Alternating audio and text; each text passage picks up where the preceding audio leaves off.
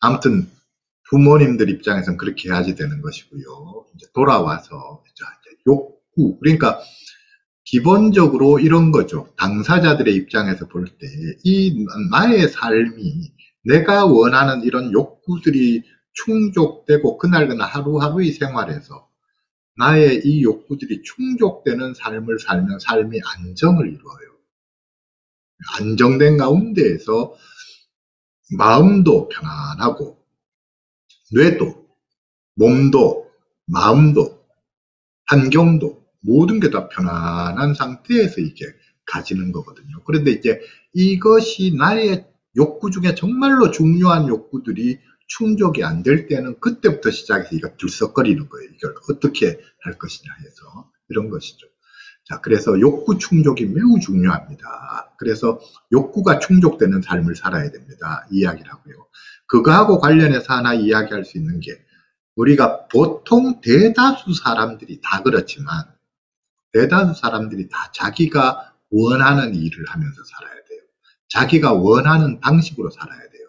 그래야 그게 더 행복하고 삶에 활력이 나고 등등한데 에, 이제 조울증을 지닌 사람은 더더욱 그렇다는 거예요. 더더욱 자기가 원하는 삶을 살아야 됩니다.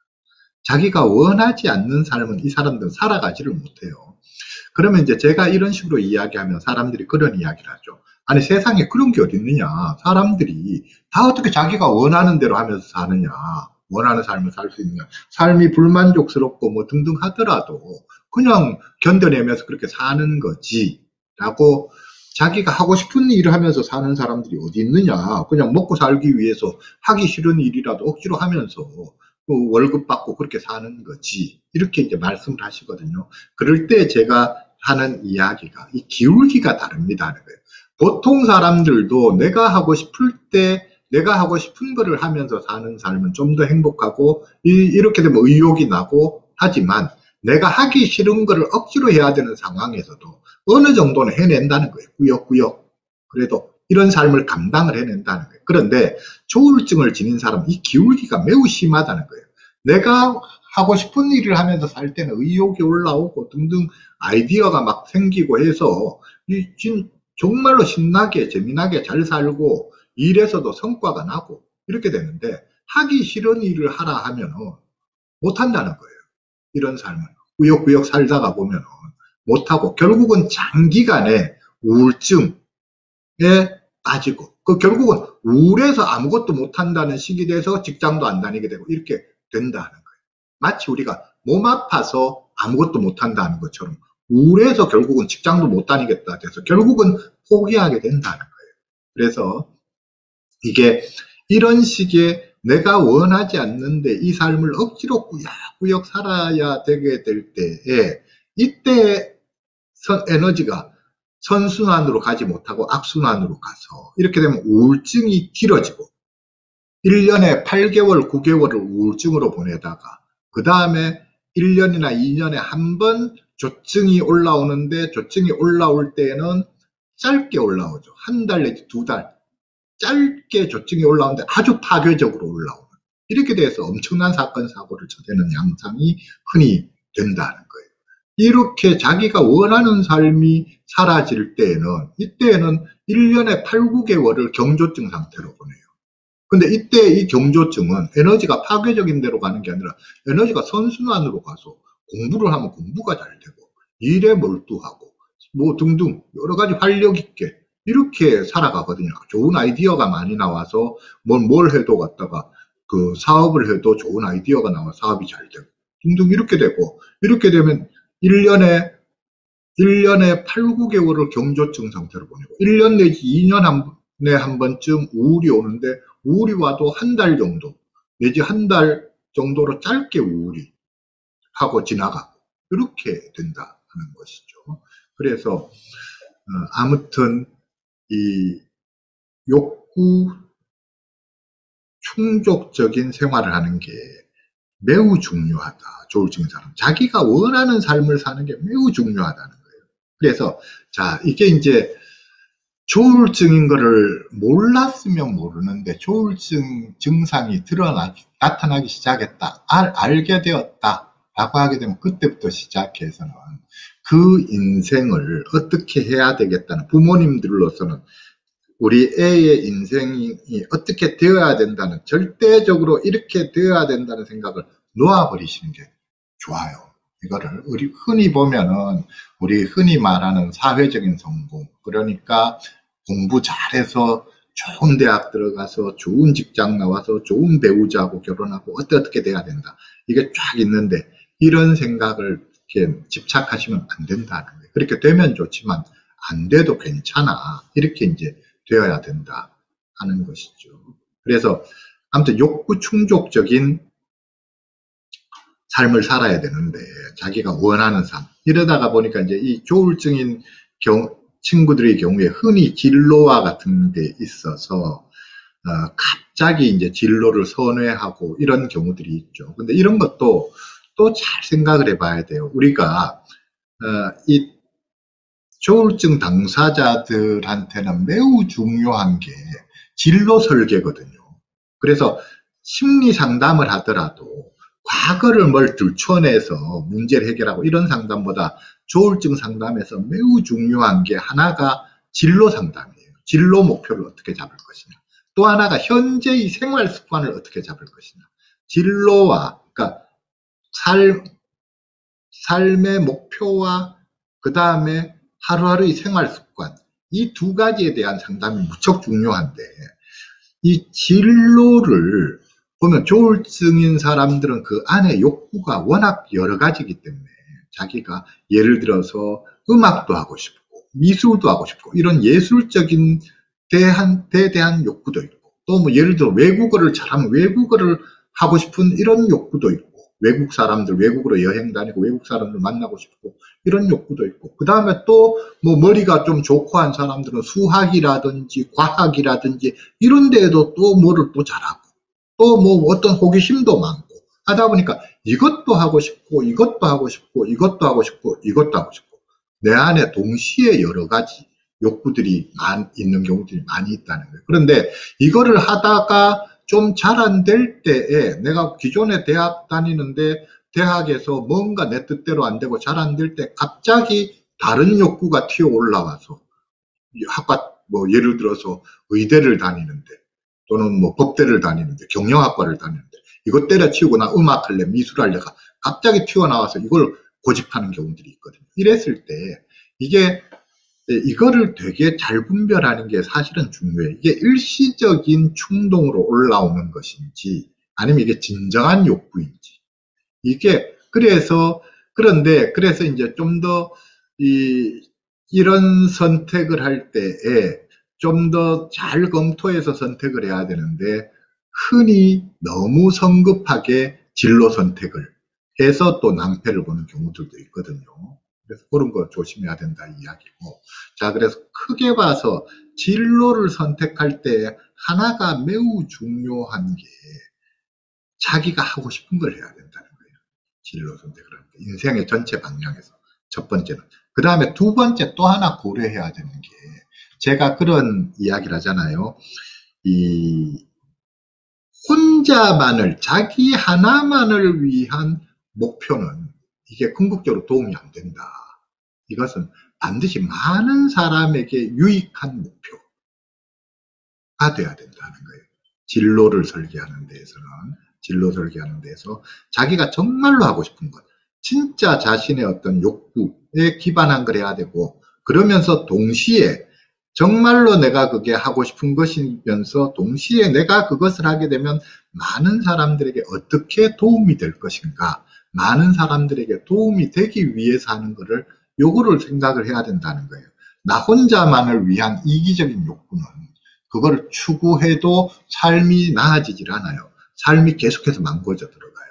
그러니까 어, 사, 이 선순환으로 사, 내 삶이 가게 하려고 하게 되면 많은 사람들에게 도움이 되는 그래서 저는 이제 또 그런 이야기를 하지만 이 조울증이 있는 사람들은 삶의 목표를 설정하는 데에서도 영성적인 게 필요하다는 거예요. 하루하루의 삶을 살아가는 데에서도 영성적인 게 필요해요. 조울증인 사람들은 영성이 들어가야 영성적인 게 들어가야 비로소 충동이 제어가 돼요. 조울증인 사람들의 인생을 엉망으로 만들어 버리는 것이 충동이거든요. 충동. 충동 통제가 안 돼서 이 충동이 건전하지 못한 충동이 자꾸만 불쑥불쑥 올라와서 이것 때문에 하루하루의 삶이 망가지고 조증일 때 엉망으로 여러 가지 사고들을 치게 되고 인생이 그것 때문에 인생이 망가지게 되고 이상한 방향으로 가게 되고 이렇게 되거든요. 이 내 안에서 올라오는 이 충동들을 이걸 잘 제어를 해야지 되는데 이 충동을 잘 제어하기 위해서는 영성이 아니고는 이 충동이 제어되지 않는다는 거예요.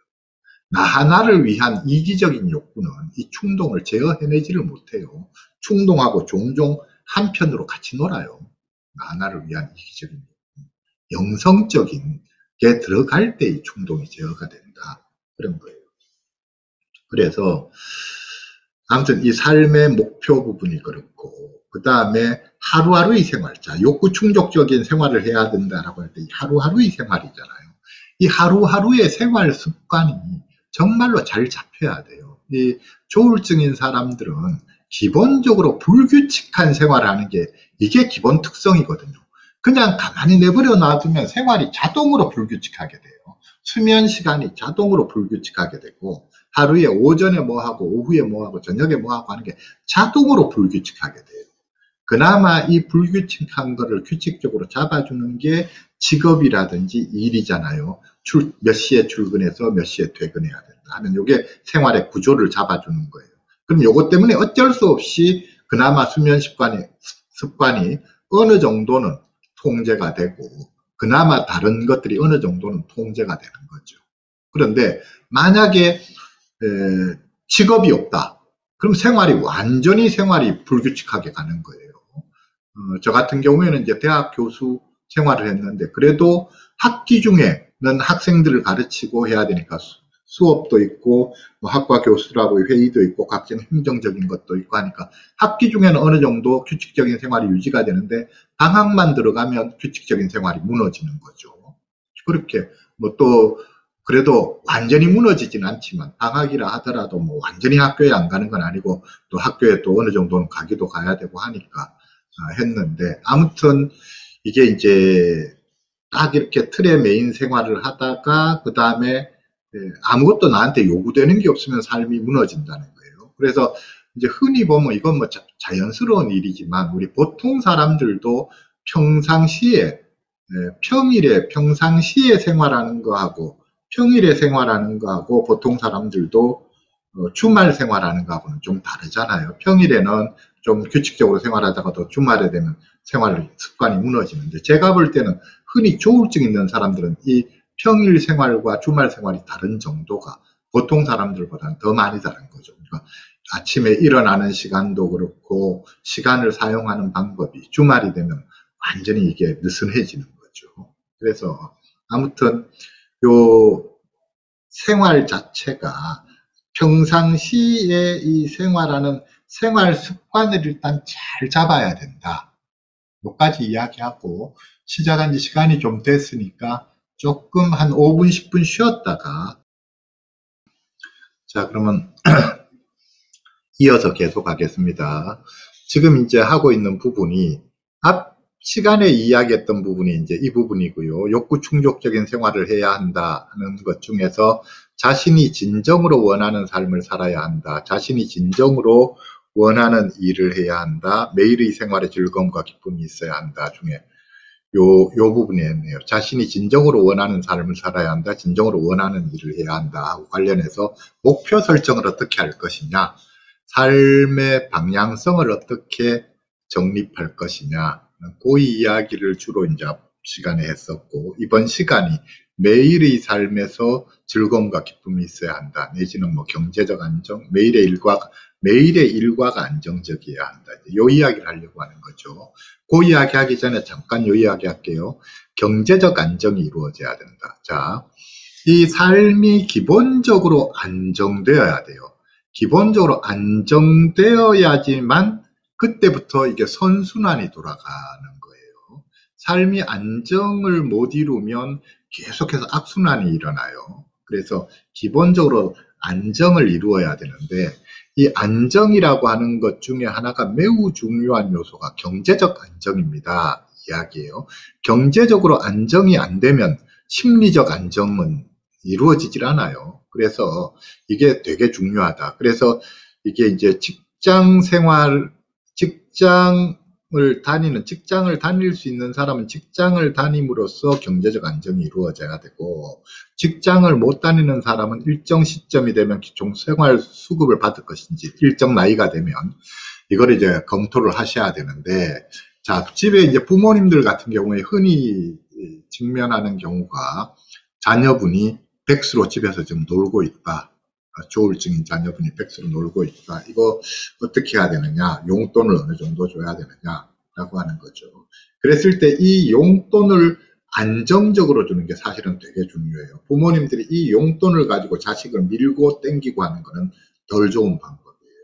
그러니까 어, 예를 들어서 뭐 부모님들 말 잘 들으면 용돈을 좀 더 주다가 말 안 들으면 용돈 안 준다고 위협하고 때로는 용돈 끊어버리고 이런 방법은 바람직하지 않다 하는 것이죠. 그래서 그런데 조울증을 지닌 당사자들의 경우에 보면은 평상시에는 이 자신이 잘 지내고 하는 이런 평상시에는 용돈을 조울증을 지닌 이런 자녀들도 한 달치 용돈을 한꺼번에 줘도 자기가 용돈 관리를 해내요.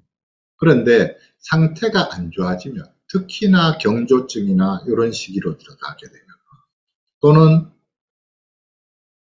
우울증 시기도 마찬가지인데 아무튼 특히나 경조증이나 이런 거에 조증이나 이런 데 들어가게 되면은 돈을 빨리 써버려요. 그러니까 한 달치를 주면은 예를 들어서 뭐 보름 만에 다 써버린다든지 일주일 만에 다 써버린다든지 심하면 2, 3일 만에 다 써버린다든지 이제 이런 사건이 일어나죠. 그래서 이게 돈 관리가 잘, 그렇게 잘 안 되면, 그 다음에는 이거를 한 달에 한 번 주던 거를 예를 들어 한, 한 달에 두 번으로 나눠서 줄까?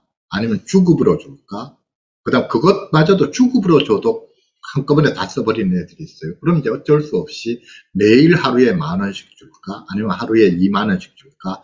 매일매일 주는 이제 방법을 백해야지 되겠죠. 이렇게 되고. 그 다음에 저거하고 분리해서 생각하셔야 돼요. 조울증인 친구들이 이제 돈 사고를 많이 쳐서 목돈. 그러니까 뭐 카드 빚이라든지 은행 빚이라든지 뭐 빚을 잔뜩 져가지고 뭐 빚을 갚아줘야 된다. 그래서 빚을 갚아달라라고 했을 때 제가 그거를 선을 끄라 했잖아요. 이제 그런 부분에 어느 날인가는 선언을 딱 해야지 돼요. 이제 우리가 더 이상 네 빚은 갚아주지 않기로 했다.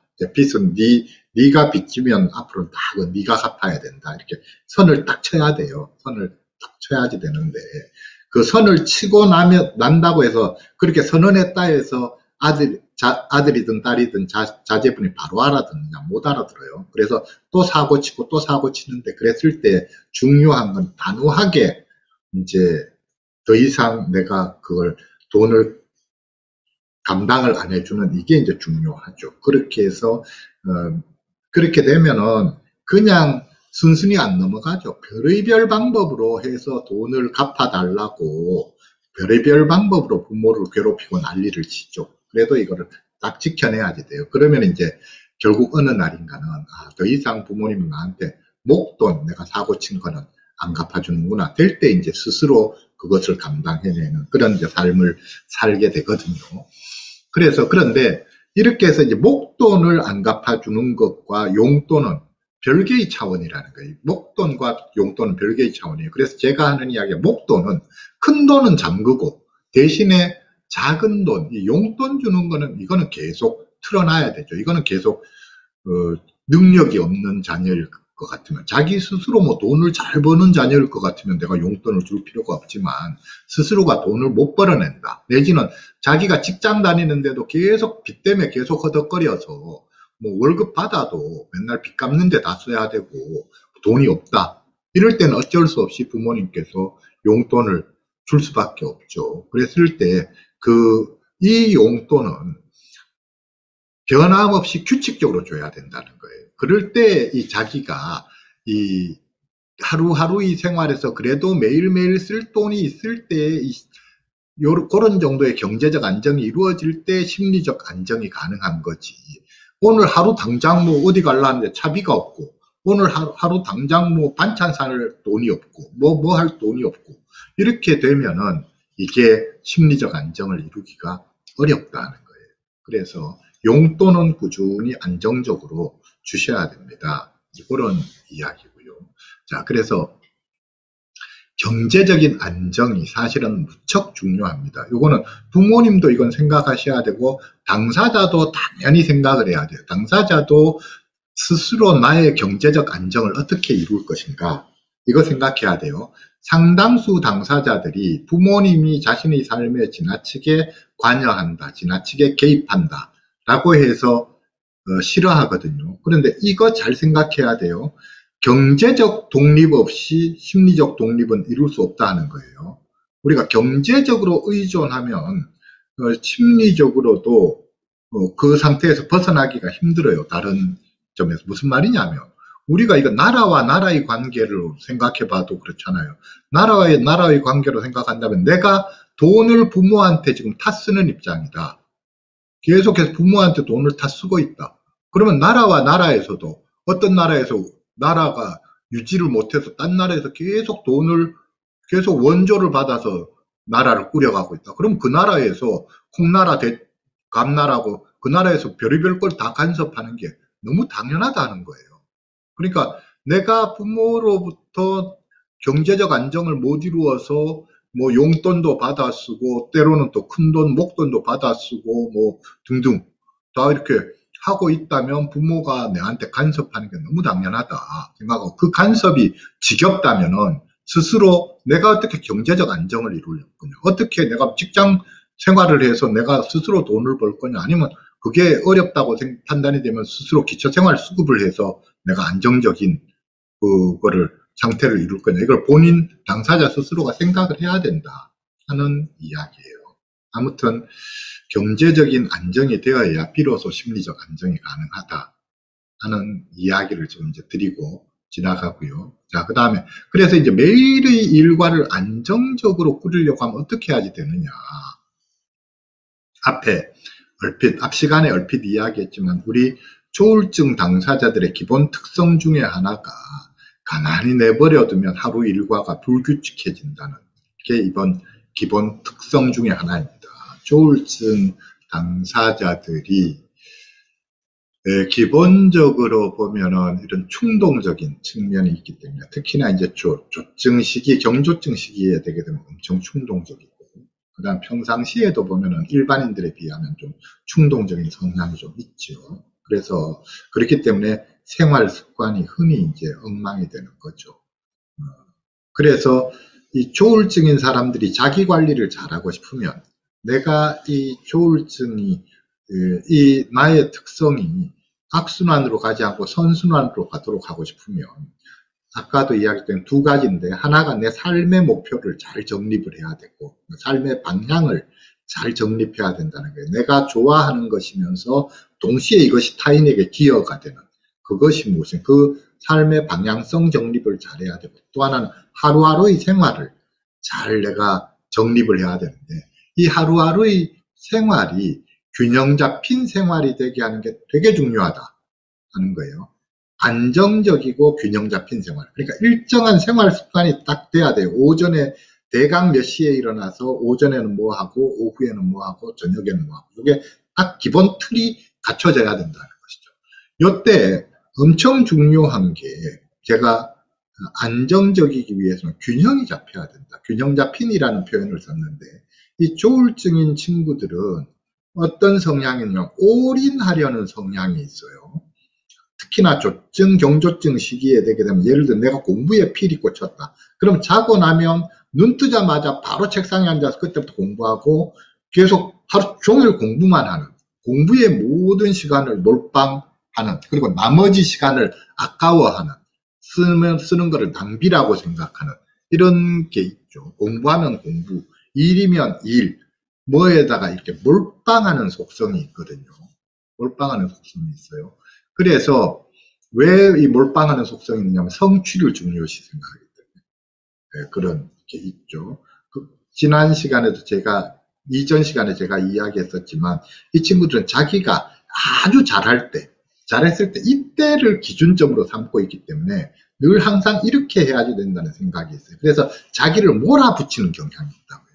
그러다가 보니까 하루의 생활이 자칫하면은 이렇게 한쪽으로 시간을 한쪽으로 몰빵해서 쓰는 이런 이제 성향이 생기거든요. 그러니까 평상시 어느 정도 안정적인 생활을 하다가도 조증 상태가 되게 되면 다 무너지고 몰빵을 하게 되고 우울 상태가 되게 되면 어느 정도 안정적으로 생활하던 게 다 무너지고 아무것도 안 하는 걸로 들어가고 이렇게 되는 경우가 흔하다라고 하는 거예요. 그래서 그런데 이게 내가 컨디션이 올라왔다고 해서 몰빵하게 되면은 예, 를 들어 바람직한 목표들 흔히 공부면 공부, 일이면 일 여기에 몰빵하면 이거 좋은 거 아니냐라고 생각하는데 천만의 말씀입니다. 제 이야기가 몰빵하게 되면은 그게 아무리 공부에 올인한다, 일에 올인한다 하더라도 이거 결국은 오래 못 가고 다 무너진다는 거예요. 그렇기 때문에 전혀 좋은 거 아닙니다. 이야기. 그래서 제가 이걸 어떻게 표현하느냐 면 균형 잡힌 생활을 해야 된다. 균형 잡힌 생활을 해야 된다는 거에 대해서 제가 비유하기를 밥 먹는 거에 비유하죠. 자, 예를 들어 내가 몰빵하고 싶어하는 이것 공부면 공부, 일이면 일 이게 밥이라고 쳤을 때 우리는 식사를 할 때도 밥만 먹어서는 안 되고 밥도 있어야 되고 먹어야 되고 국도 있어야 되고 반찬도 있어야 되고 골고루 골고루 먹으면 먹어야 이게 되는 것이지 밥만 먹, 먹으면 안 됩니다. 이야기거든요.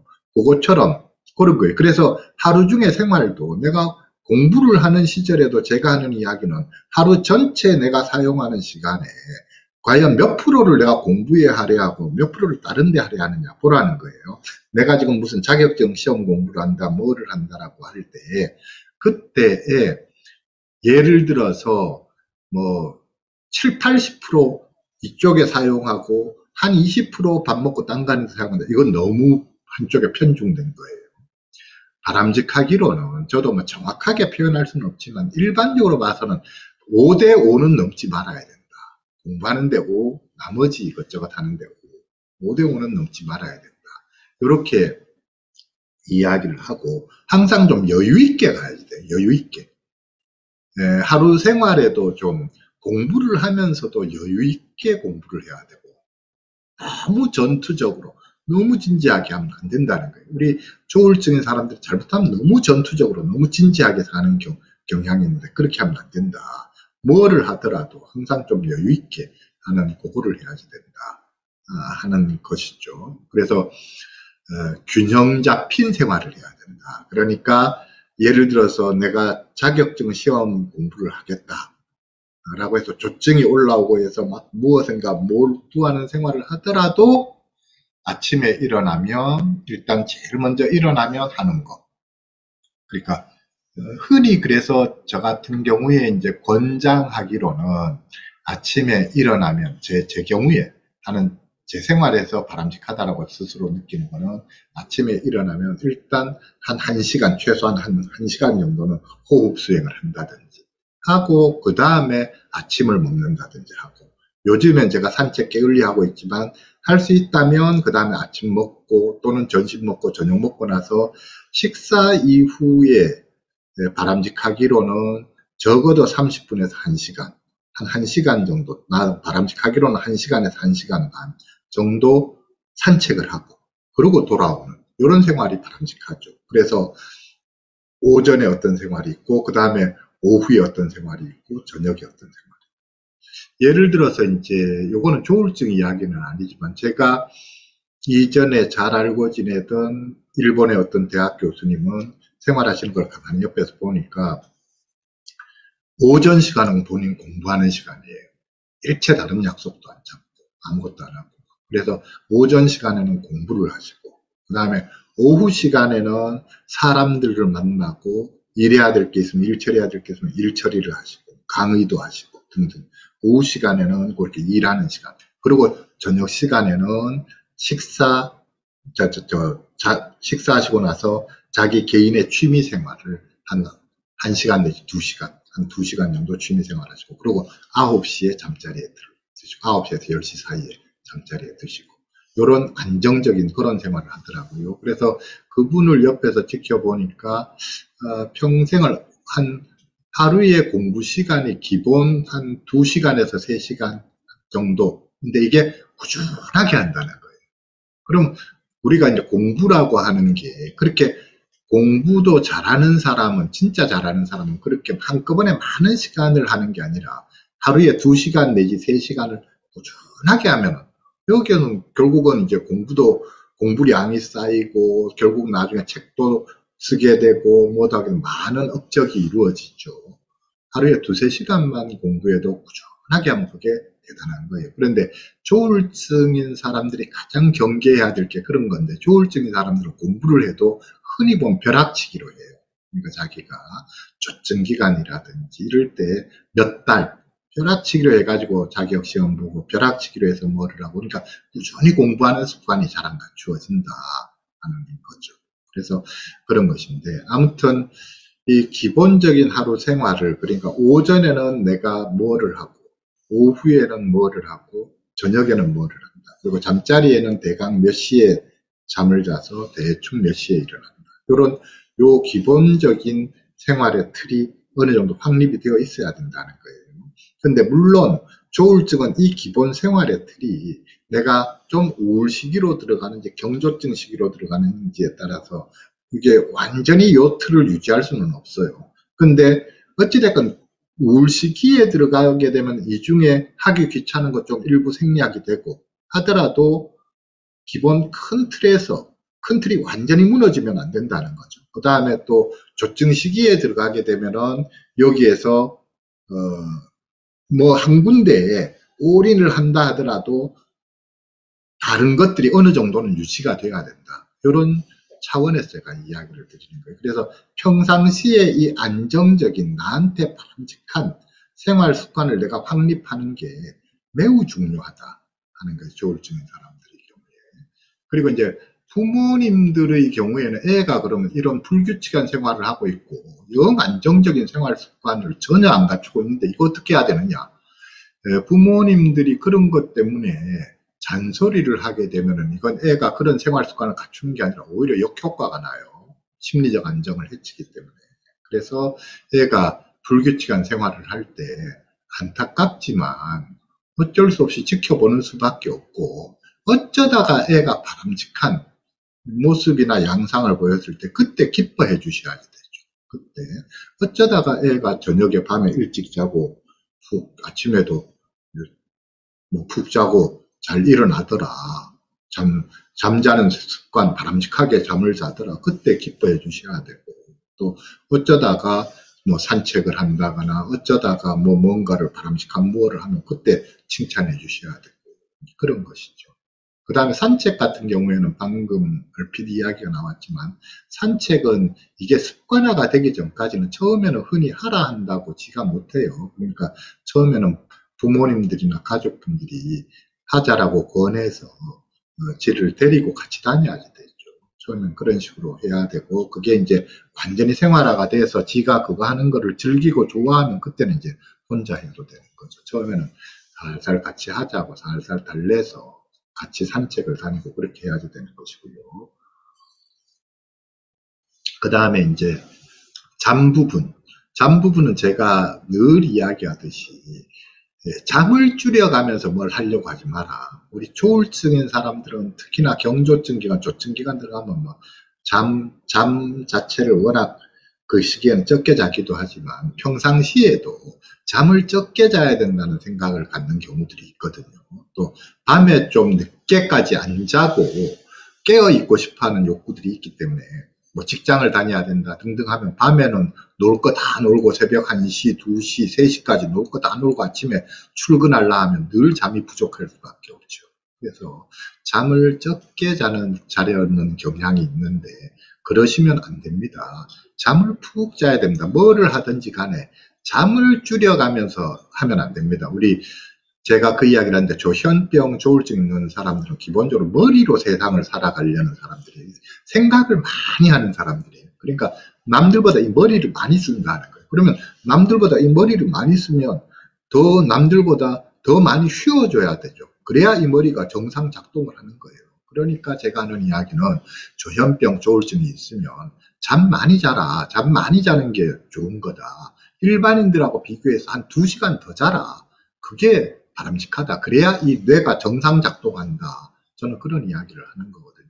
그러니까 잠을 어찌됐건 푹 자야 된다. 잠, 잠을 자고 나서 일어나면 푹 잤다는 느낌이 드는 게 되게 중요해요. 그래서 잠을 푹 자는 생활, 잠을 많이 자는 생활을 해라 하는 것이고 또 그거하고 관련해서 제가 당부하는 게 알람 쓰지 마라. 알람.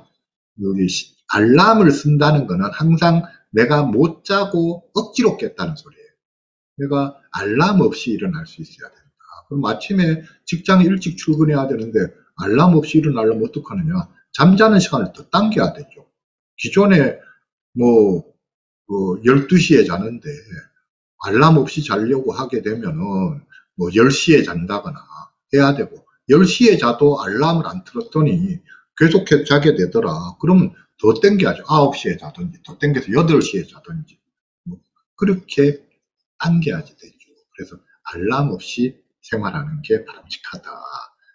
라고 저는 그렇게 이제 권해드립니다.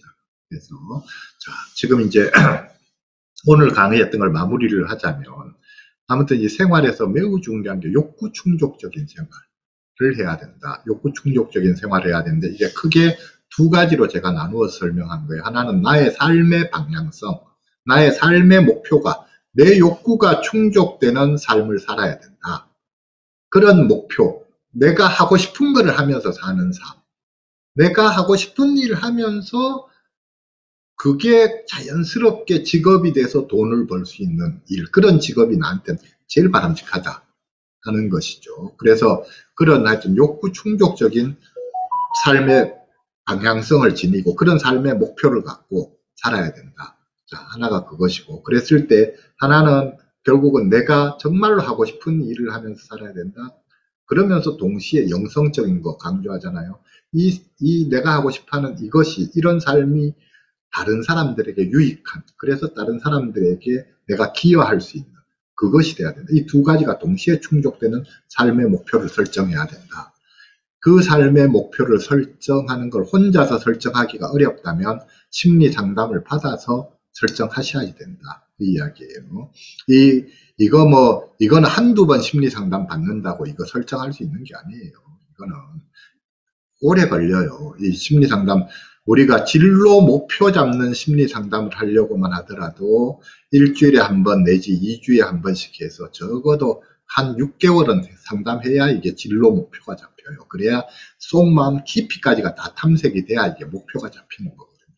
그 다음에 진로 목표가 아니라 이제 삶을 안정적으로 생활 습관, 안정적인 생활 습관을 갖추고 사는 거, 이것까지 하려고 하게 되면은 이거 몇 달 한다고 되는 게 아니에요. 그러니까 제가 이야기하는 게 조현, 조, 조울증 지니신 분들, 조현병도 마찬가지지만 조현병, 조울증 지니신 분들 심리 상담을 받게 되면 기본이 최소 2, 3년은 심리 상담 받아야 된다. 그래야 이게 삶의 틀이 갖춰진다. 이제 그런 이야기를 드리는 거죠. 그래서 하여튼 삶의 목표, 방향성이 욕구 충족적이어야 되고 또 하나는 하루하루의 삶이 욕구 충족적이어야 된다.